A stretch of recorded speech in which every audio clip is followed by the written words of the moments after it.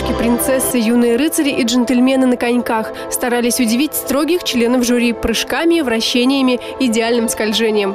Эти соревнования уже проводились в прошлые годы и стали очень популярными. В этот раз в Чувашу съехались более 140 спортсменов из Ешкаралы, Владимира, Волжска, Зеленодольска, Балахны и других городов России.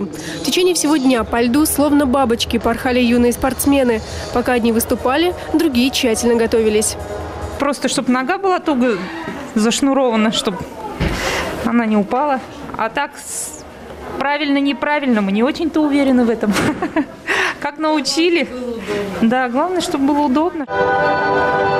Но без падений все же не обошлось. От зоркого ока жюри не ускользнул ни один элемент. Несмотря на юный возраст, качество и красота катания оценивались по взрослым правилам.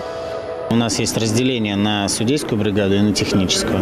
А, техническая бригада занимается тем, что определяет, что это за элементы э, выполняют спортсмены, а судейская определяют, как они выполнены. Чувашское фигурное катание развивается э, хорошими темпами. Я здесь был э, в прошлом году в октябре-ноябре. Заметны изменения в технике скольжения в лучшую сторону, улучшились вращения.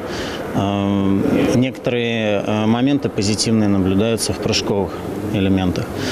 Но э, нет предела совершенства. Фигурное катание – один из самых молодых видов спорта в Чувашии. Три года назад, после того, как заработал ледовый каток «Новое поколение», в Чебоксарах вновь открылось отделение фигурного катания. Главным достижением школы нашей, которая существует, можно сказать, три года на данный момент, всего лишь три года, я считаю все-таки основание Федерации фигурного катания. Потому что без Федерации развивать этот вид спорта невозможно. На сегодняшний день мы еще работаем слишком мало, чтобы можно было говорить о результатах фигуристов. Но все делается, все делается все ради будущего.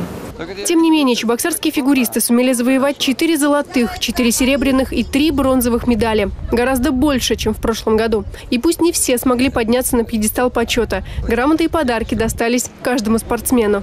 Для многих выступить на подобных соревнованиях уже большое достижение. Я люблю фигурное катание только из-за того, что там катаются на коньках. И я им занимаюсь третий год. И я очень рада, что я сегодня выступила, потому что это радостно, что тебя наградили.